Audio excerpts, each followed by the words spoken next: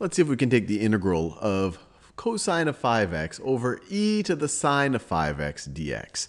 And there's a crow squawking outside of my window, so I'll try to stay focused. So let's think about whether u substitution might be appropriate. Your first temptation might have said, hey, maybe we let u equal sine of 5x. And if u is equal to sine of 5x, we have something that's pretty close to du up here. Let's verify that. So du could be equal to, so du dx derivative of u with respect to x, well, we just use the chain rule. Derivative of 5x is 5 times the derivative of sine of 5x with respect to 5x. That's just going to be cosine of 5x. If we want to write this in differential form, which is useful when we do our u substitution, we could say that du is equal to 5 cosine 5x. Now, when we look over here, we don't have quite du there we have just cosine of 5x dx. Oh, sorry, I need cosine of 5x dx, just like that. So when you look over here, you have a cosine of 5x dx, but we don't have a 5 cosine of 5x dx. But we know how to solve that. We can multiply by we can multiply by 5 and divide by 5. 1 fifth times 5 is just going to be 1, so we haven't changed the value of the expression. But when we do it this way, we see pretty clearly we have our u we have our u, and we have our du. Our du is 5, let me circle that, let me do that in that blue color, is 5 cosine of 5x dx. So we can rewrite this entire expression as, do that 1 fifth in purple, this is going to be equal to 1 fifth, I hope you don't hear that crow outside, he's getting quite obnoxious, 1 fifth times the integral of all the stuff in blue is my du. All the stuff in blue is my du. And then that is over e to the u. e to the u. So how do we take the antiderivative of this? Well, you might be tempted to, well, what would you do here? Well, we're still not quite ready to, to simply take the antiderivative here. If I were to rewrite this, I could rewrite this as this is equal to 1 fifth times the integral of e to the negative u. e to the negative u du. e to the negative u du. And so what might jump out at you is maybe we do another substitution. We've already used the letter U, so maybe we'll use W. We'll do some W substitution. And you might be able to do this in your head, but we'll do W substitution just to make it a little bit clearer. So let's, this would have been really useful if this was just e to the u, because we know the antiderivative of e to the u is just e to the u. So let's try to get it in terms of the form of e to the something, not e to the negative something. So let's set, let's set, I'm running out of colors here, Let's set w, let's set w is equal to negative u. In that case, then dw, derivative of w with respect to u is negative 1. Or if we were to write that statement in differential form, dw is equal to du times negative 1 is negative negative du. So this right over here would be our w. And do we have a dw here? Well, we have just a du. We don't have a negative du there. But we can create a negative du by multiplying this inside by a negative 1, but then also multiplying the outside by a negative 1. Negative 1 times negative 1 is positive 1. We haven't changed the value. We have to do both of these in order for it to make sense. Or I could do it like this. So negative 1 over here and a negative 1 right over there. And if we do it in that form, then this negative 1 times du, that's the same thing as negative du. This, this is this right over here. And so we can rewrite our integral.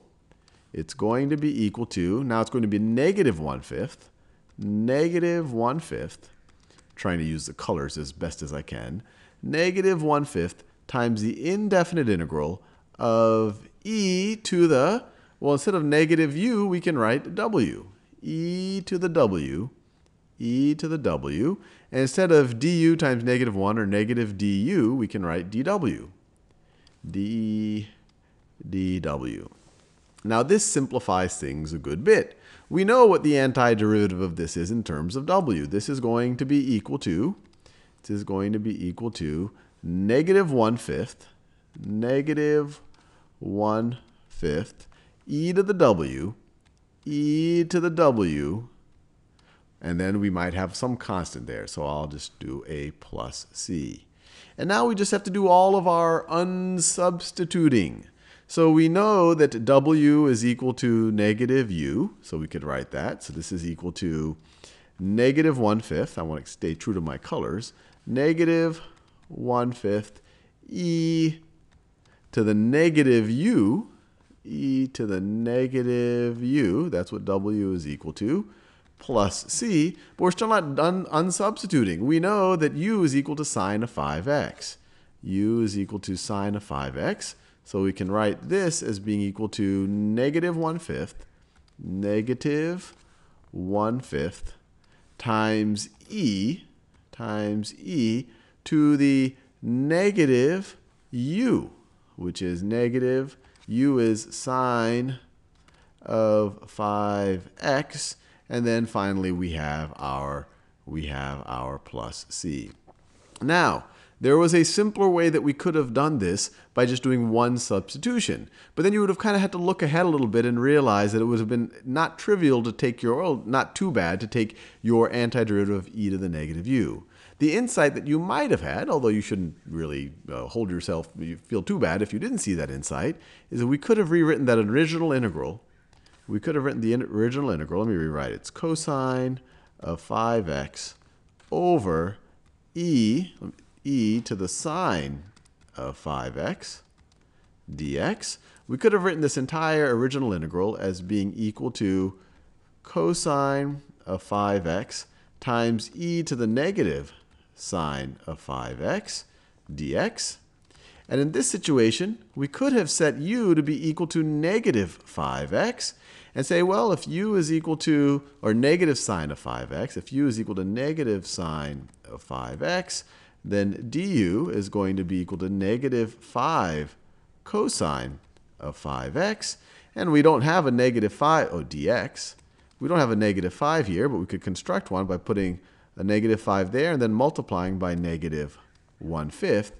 And then that would have immediately simplified this integral right over here to be equal to negative 1 fifth times, times the integral of, well, we have our du, our du, let me do this in a different color. We have our du, that's the negative 5, let me do it this way, negative 5 cosine of 5x dx, negative 5 cosine of 5x dx. So that is our du. I'm just changing the order of multiplication. Times e times e to the u. This whole thing now is u, this second time around. So if we did it this way, with just one substitution, we could have immediately gotten to the result that we wanted. You take the antiderivative of this, I'll, I'll do it in one color now, just because I think you get the idea. This is equal to negative 1 fifth e to the u plus c. u is equal to negative 5, negative sine of 5x, so this is equal to negative 1 fifth e to the negative sine of 5x plus C, and you're done. So this one is faster, it's simpler, and over time you might even start being able to do this in your head.